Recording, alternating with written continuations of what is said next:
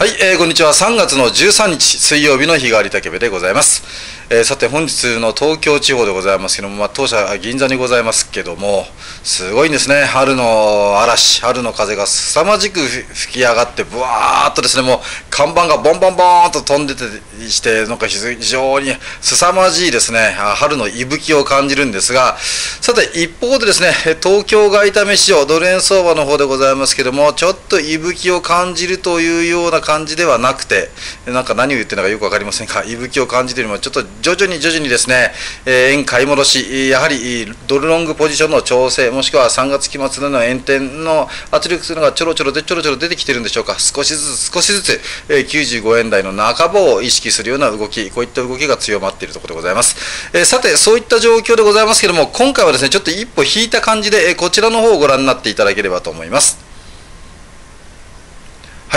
えー、今回のタイトル、まあ、今更でございますけども、岡さん武部のドル円長期為替見通しと、なんかちょっと今の時期ちょっと合わないのかもしれませんが、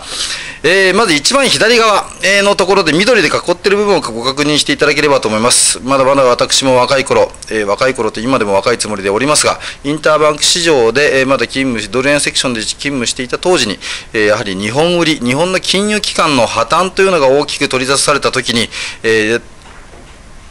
円売り、日本売りというような形で147円の66銭までつけた経緯ございました。えー、ただし、そこからのドル円相場の下落というのはご存知の通りでございます。えー、リーマンショック、そして欧州危機などがあったわけでございますけども、えー、現状ですね、ここから、え、ご存知の通りアベノミクスで反転しているというところでございます。さて、そうなるとですね、今更ながらなんですが、ドル円相場一体どの辺ぐらいまで上値目処で見ているんだという話になってくるかと思います。フィボナッチリートレースメントで見る限りですと、38.2%戻しで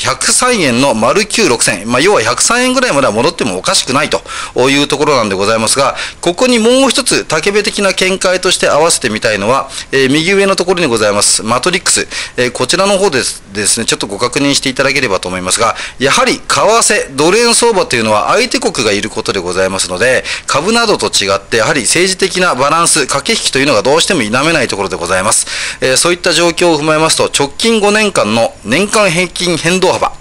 約15円なんですね。そうなりますと、期待を持って120円だ、130円だ、140円だというような声もありますが、過去則から見る限り、そこまで行った時には一体どんなアクシデントがあったんだろうというのが、え過去の平、年間変動幅から伺えるところでございます。えそうなってきますと、今年もですね、まあ、サブプライムショック、リーマンショック、えそれぞれ合わせて変動幅違いますが、10円から15円というようなバランスで見た場合は、え本年の安値で足した場合でも96円、え15円足した場合でも101円ぐらいと。いうところがですね、まあ、おおむねの上値目処なのかなというふうにして見ております。えー、通貨当局もですね、急激な円安、もしくは円高というものは当然、えー、忌避するという形で、えー、断固たる姿勢は見せるという形が今までの経緯でございますので、えー、そういった意味では今年もまあ100円オーバー、オーバーシュートでもせいぜい105円以内までというところがですね、えー、常識的な変動幅なのかなというふうにして考えております。えー、春の風、えー、吹きさぶ、まあ、吹き荒れる時でございますけれども、え、皆様方、